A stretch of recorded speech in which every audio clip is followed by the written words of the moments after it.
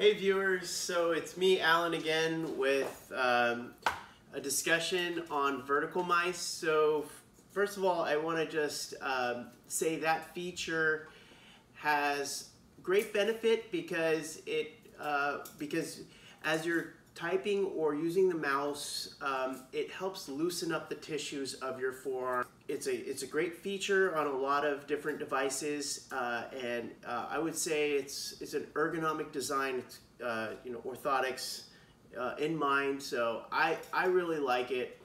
Um, however, it doesn't always fit everybody in that because a lot of people have um, different techniques and such. So uh, if I were to say where it benefits um, users the most, it is where they can actually relax their hand on the device itself. I keep saying that in a lot of my videos, but let me just demonstrate. If I can relax my hand on the device, then I get that whole arm movement. However, if the device itself is trying to be so vertical that now my hand is off of the device, you can see that it's on the mouse pad, I end up using my wrists again. So uh, even though this one is not quite vertical, it actually promotes better posture in the way I use it, as you could see there. So, and I'm just showing you by example. Now, this mouse itself is so small, this is the DXT mouse by Kinesis, that I'm just gonna use it with my fingertips here. And a lot of, there's a lot of small light mouse, uh, there's a there's a, um, a brand called Anker, which also is very similar to this, and uh, and it's it's vertical. So you can see my hand is more in like a writing position. And I like these mice. I recommend them a lot as long as I think that the user would uh, adapt to it um, because I think it engineers out uh, pretty much the pronation there. And, and the real the real issue with the pronation is that it's like wringing out a towel. Um, basically, as I go to pronate my, my hands this way, and then if I were to like use my digits, you could, you could feel the flaring out of the muscles and connective tissues of my forearm there, okay? And it only exacerbates if I were to go into extension or flexion of my wrist at that point.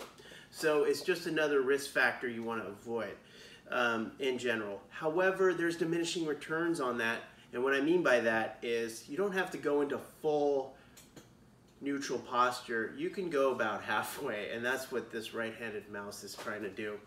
Um, it's like wringing out a towel in that, you know, most of the water comes out at the very end when you've put all the force in it at the very end. So for the most part, you've gone a lot of distance and then nothing's come out and then at the very end, everything comes out of the, all the water comes out of that towel. So diminishing returns there, just a little bit back into that neutral posture really helps a lot, but then going to fully neutral, you get diminishing returns, right? I'd rather have somebody be able to relax their hand on the device itself.